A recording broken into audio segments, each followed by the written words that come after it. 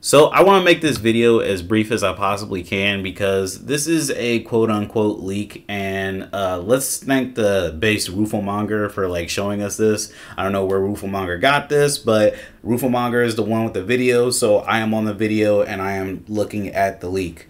Now, there are several things I want to say um, in regards to this leak. I have my own sources. I don't want to put them out there, but my sources have told me that this leak could possibly actually be fake. Like I'm saying possibly because uh, they're not entirely certain, but they seem to be close to everything that's going on with Bandai Namco. So I'm just going to go ahead and say that I believe them, right?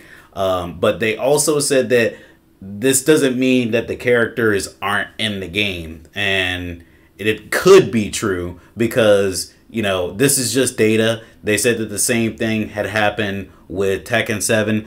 I'm not aware of that happening. I don't remember that happening, but I'm just going to go ahead and lean on them for this. Um, but let's just take into consideration that this might be real, right? Uh, so we got Yoshimitsu. That's like a layup. He's been in every single Tekken game, like even on Tekken Advance. I don't think there's been a single Tekken game without Yoshimitsu. Um, maybe Tekken Revolution. Did Tekken Revolution have Yoshimitsu? I had to look up a video on that. But uh, Shaheen, you know, is a new character from Tekken 7, which honestly I would rather have had Shaheen announced than Leroy Smith. Leroy is annoying. Um, Shaheen's annoying too, but marginally less annoying, right? And we got Raven. I can't wait to see Shaheen's new design. Yoshimitsu too. We have Raven. Uh, it doesn't say Master Raven. It just says Raven. So that means that there would be either Raven or Master Raven. This is how I interpret that because, as far as I knew, Raven was still missing. And story doesn't move really fast in the Tekken series. Hasn't done that since Tekken 5, in my opinion, right? Uh, then we got Zafina. Uh, some people might hate that. I'm glad Zafina is back. I do like Zafina. She started off as like a C tier character in Tekken 6 and Tekken Tag 2, and they made her top tier in Tekken 7. So you know, people are really salty at that, but they've always been salty as Zafina no matter what. I don't know why. Uh, because she gets low to the ground, but you know they don't really say as much as uh, they say about her about like Xiao Yu, right? Um, well, they did in Tekken Seven, but not the other games. Anyway, so Steve, Steve Fox, that seems believable. So is Alisa. Lars is in the game. Alisa being in the game makes sense, even though honestly, I'm tired of Alisa. I think Alisa's arc has passed. You know, I can't really see a reason to like keep putting her in these games, right? Um, she had a reason to be in Tekken 7 very briefly, but it was like so minuscule. It just feels like, you know, it didn't really even make sense to keep her there, right? Um, I think, uh, let's say that this is the full roster, right? Because these are all the beta characters plus a couple more characters. Let's say that this is a full roster. I kind of like it. I think it's very condensed. Um, if that's what they're going for, normally I would be like, yeah, that's cool. But they said they aim to have like a higher launch roster than most games. So this might be, this might not be it.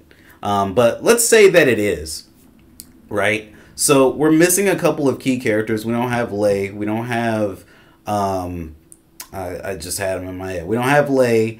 We don't have, uh, gosh, we don't have Anna. We don't have Armor King, Craig Marduk, or Julia. Um, these are characters that are legacy characters, and I know people are like, oh my goodness, I'm so sick of these DLC guys. I'm not a guy that's against DLC. However, I am against giving uh, characters that are like the core of a game as DLC characters. It just doesn't make sense to me.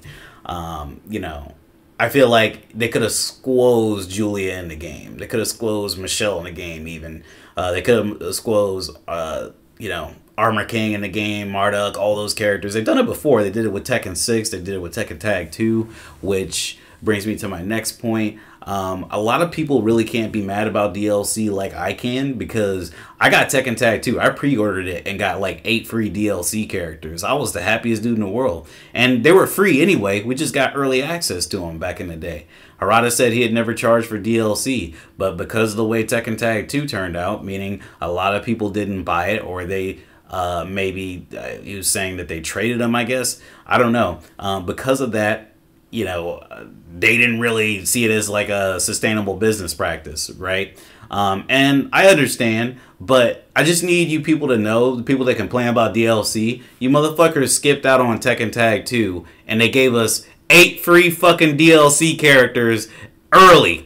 And they gave us eight free DLC characters. Period. All you had to do was pay ten dollars to pay on uh, to play online. But guess what? If you would have just pre-ordered the fucking game, you wouldn't even have to have done that. So that's another dig at people that complain about DLC that didn't get Tekken Tag 2. Um, but let's say that this isn't the full roster and there's more to come. Then I'm completely zen with it. Um, I don't like legacy characters being ones that you pay for. Um, and what makes a legacy character in Tekken? So these are characters that have spanned like three, four games, and they make up the core of Tekken. Um, like I believe Tekken 4. When I think of Tekken 4, I think of that's core Tekken for the most part, right? Um, I would only add like a couple more characters to that like Tekken 5. Tekken 5 is like a good core group, right? There's a couple of characters that could go missing or could be interchanged here and there. Like you could take Bruce out for a couple games, a game or two, and you can replace him with somebody and you can replace other characters. Now, is he a legacy character? Yeah. But prior to Tekken 5, Bruce was only in Tekken 2 and Tekken Tag 1. So that stuff like that. Um, June, you kind of have to have her in this game. That's fine. But, you know, like Roger Jr., you don't really need Roger Jr. Um, I don't think that you really need like uh, I'm, I'm trying to think.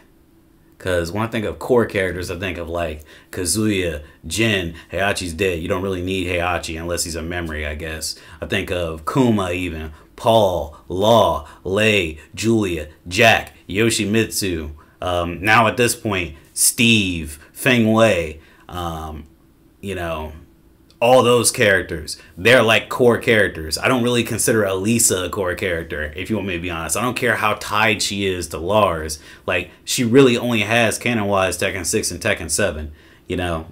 So, yeah, there are characters that I would accept as DLC, but, you know, personally, I just feel like it's a little wrong to put Julia as DLC. You know what I mean? An Armor King. Like, come on, bro. Look at Tekken 6.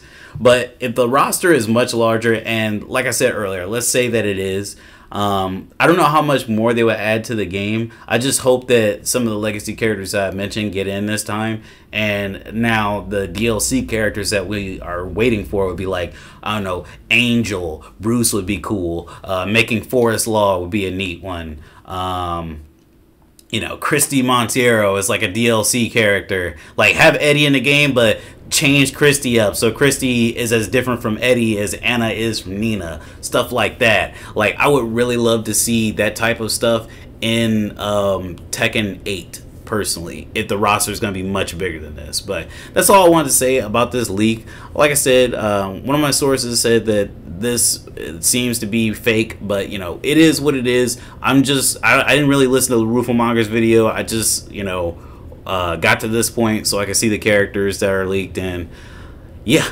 that's how i feel about it. Let me know what you guys think. Do you think that it should be a smaller roster? Do you think that dlc is fine no matter what? Do you hate paying for legacy characters?